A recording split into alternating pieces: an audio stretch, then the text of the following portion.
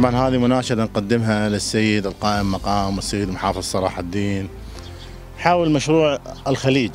مشروع الخليج اليوم منذ 2003 يعاني من الإهمال الحكومي سواء إهمال متعمد أو إهمال غير متعمد. يعني أصبح اليوم هو مكب للنفايات مثل ما تشوفون أصبح مكب للنفايات للأوبئة والأمراض وأصبح يعني مأوى للحيوانات المفترسة. يعني متروس من الخنازير ومتروس من ال يعني ال- ال- ال- الحيوانات المفترسة. يعني بي ذيب ما ذيب غيرها كلها موجودة بي. فاليوم هو من 2003 يعني مهمل إهمال إهمال يعني متعمد يسقي كان هذا المشروع بحدود تقريبا 10000 دونم. 10000 دونم كانت على ضفافه على اليمين وعلى اليسار من منبعه من الشاطئ إلى مصبه من نهايه عند الغنام. يعاني من نهايته. تقريبا بحدود نصف كيلومتر مدموم دم كامل. دمته الأهالي وتجاوزت عليه ودفنته. بس إنها ما بنت بناء حوالي من حدود البشر الحدود ال- العلوان الطيف باتجاه باتجاه الشاطئ.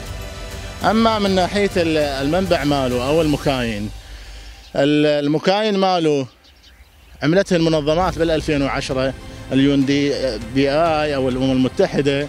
فما قبلت تستلمهن دائرة الري أو دائرة يسمونها الموارد المائية ما استلمت هذا المشروع نهائيا وظلنا يعاني وصارت الفيض عليهن إلى أن انتهى نهائيا. آه، اندمت أيضا اندمت قسم كثير أو جزء كبير من عند هذا البزل اندم اندم نهائيا بسبب الاوبئه بسبب رمي الأنقاض هذا اللي موجود من بداية السده وانت رايح.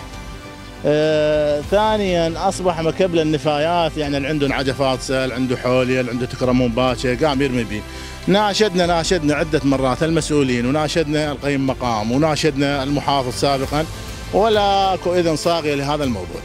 أصبح هذا البزل مكب للنفايات وأصبح مكان آه، مزري آه، لا نستطيع يعني ال- المرور يعني فيه ويحتوي على ماء الماء هذا ماء آسن ماء غير صالح لا للزراعة ولا للشرب. آه، و يعني أكثر من عشر سنوات صار لهذا البزل متروك. آه، أكثر من مرة سمعنا بأن أكو أكو بعض التحركات اتجاه هذا البزل من قبل آه، دائرة الماء أو دائرة الموارد البشرية أو وزارة الموارد البشرية لكن الموارد المائية الموارد المائية لكن لم نلاحظ أي آه، عمل بهذا الخصوص. مشروع ري العلم من المشاريع الحيوية والمهمة للمنطقة والذي آه، يقع على مساحة أرض تسع إلى أكثر من 4000 دونم. وتسكن هذه الأراضي أكثر من 400 عائلة فلاحية